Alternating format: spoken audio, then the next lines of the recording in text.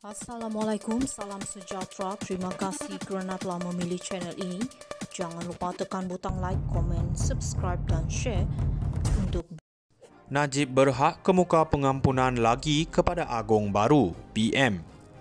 Kuala Lumpur, kerajaan menghormati keputusan lembaga pengampunan yang memberikan pengurangan 50% bagi hukuman penjara 12 tahun yang sedang dijalani Datuk Seri Najib Razak sejak 2022 sekaligus menyaksikan bekas Perdana Menteri itu bakal dibebaskan pada 23 Ogos 2028. Perdana Menteri Datuk Seri Anwar Ibrahim menjelaskan Najib juga boleh mengemukakan permohonan rayuan pengampunan sekali lagi selepas ini kepada Yang di-Pertuan Agong yang baru untuk mendapatkan pengampunan seterusnya. Bagaimanapun terdapat kes membabikan Najib yang sedang berjalan di mahkamah melalui proses kehakiman secara bebas yang masih perlu diteruskan. Pada masa sama, Najib berhak sekali lagi merayu kepada Yang di-Pertuan Agong baru. Saya rasa proses itu perlu dihormati ia di luar bidang kuasa Perdana Menteri atau kerajaan.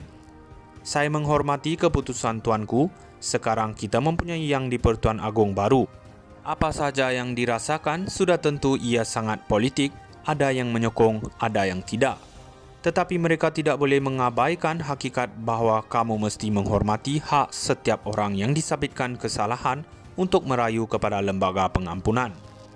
Kini lembaga pengampunan sudah membuat keputusan jika seseorang berpuas hati, maka ia adil. Jika sebaliknya, beliau masih mempunyai jalan untuk merayu selepas ini, katanya dalam temu bual bersama stesen televisyen Al Jazeera petang tadi.